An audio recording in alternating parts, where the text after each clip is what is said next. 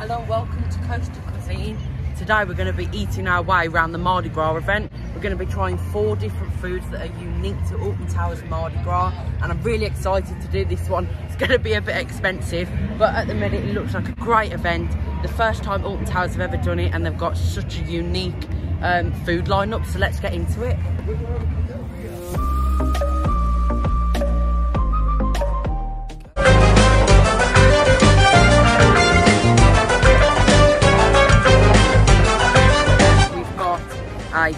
Cheese pizza.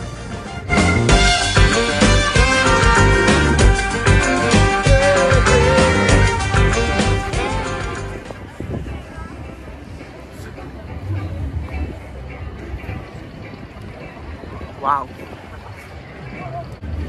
So it's not that big for £11.50, but it is actually really nice. Like the last time I tried pizza like this was when I was in New York. Wow. That's really nice. They don't do Merlin or staff discount, but it's really nice. It's got all the different cheeses on it and the proportion of cheese to tomato is really good. The bread is really nice. A bit of too much charcoal on the bottom, but all round it is really, really nice. I just wanna make love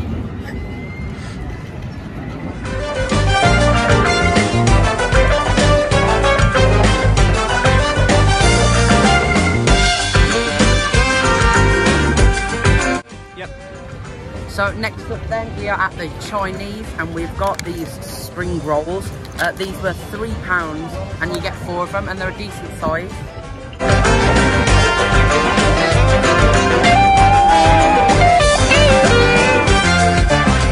Let's try the first one. Wow. That's actually really good. No, I'm not the biggest fan of spring rolls, but the flavour in it is really nice. We've got loads of different vegetables in there, like carrots, um, uh, butter chestnuts and bamboo shoots and stuff like that.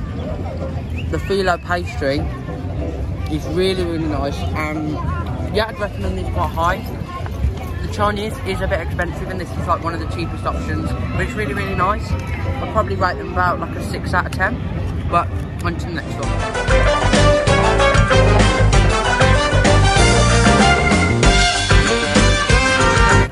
We've got the Yorkshire pudding wrap. Uh, this was £9 for one meat, but you can have with meat. That is a bit more pricey. You can have beef, turkey, pork, uh, toad in the hole, or you can have pigs in blankets, which I think is really, really good.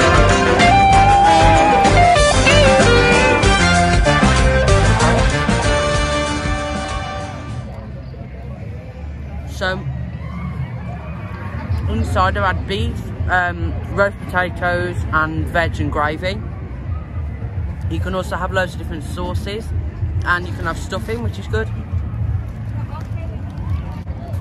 That's really nice. That is honestly one of the nicest things I've had for a long time. Definitely 10 out of 10. But finally, let's go on to the next one.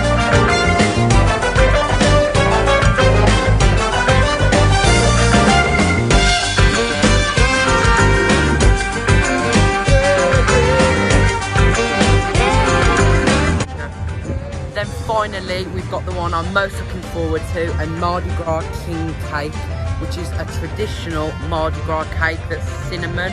It's like a cinnamon swirl. And as you can see here, we've got the gold, green and purple, which are traditional Mardi Gras colours. And then by the look of it, they've used jelly babies as like a Mardi Gras float on the top.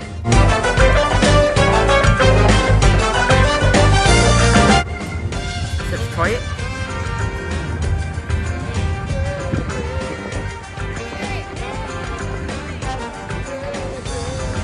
Got like the texture of a donut. It's really nice.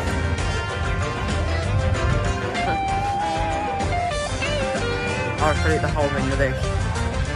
Um, I have liked all the food today.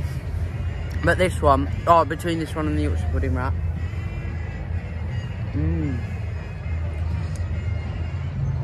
That's really nice. 10 out of 10.